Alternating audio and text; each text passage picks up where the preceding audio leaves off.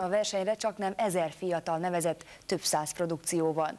A színjátszás és a zene kategóriában már korábban kihirdették a győzteseket, szombaton pedig a táncosok produkcióit láthatták az érdeklődők a Víg Kamara Színházban.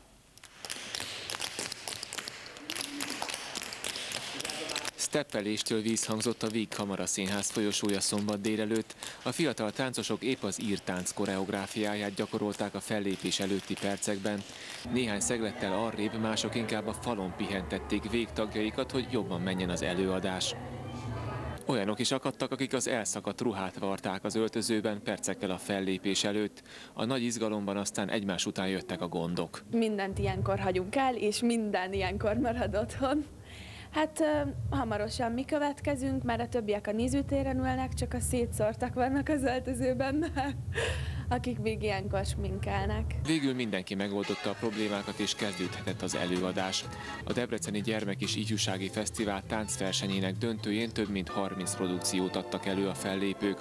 A résztvevők társas tánc, mazsorett, néptánc és modern tánc kategóriában versenyeztek. A táncosok gyermek és ifjúsági korosztályban indulhattak. Sok fiatalt a szülők is elkísértek a bemutatóra. Hogy ne féljen, ne ijedjen meg, és de elég talpra esett a gyerek, úgyhogy végül is már elég nagy praxisa van a versenyzésben. Ez a nyolc év van a hátam mögött, ez a kilencedik év. A Gyermek és Ifjúsági Fesztivált első alkalommal idén márciusban hirdette meg a Debreceni önkormányzat. A felhívásra csak nem ezer diák nevezett több száz produkcióval. A fesztivál is része annak a pályázatnak, amelyet Debrecen nyújt be az Európa Kulturális Fővárosa cím 2010-es elnyerésére. A hagyományteremtő szándékkal hoztuk létre. A legfontosabb célja az a Kulturális Főváros pályázaton belül is, hogy 2010-ben, ha leszünk, ha nem leszünk Európa Kulturális Fővárosa, persze a szívünk azt súgja, hogy legyünk.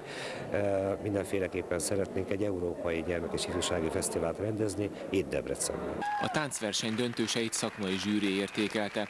A kategóriák legjobbjai a fesztiváldíj mellett utazást is nyertek.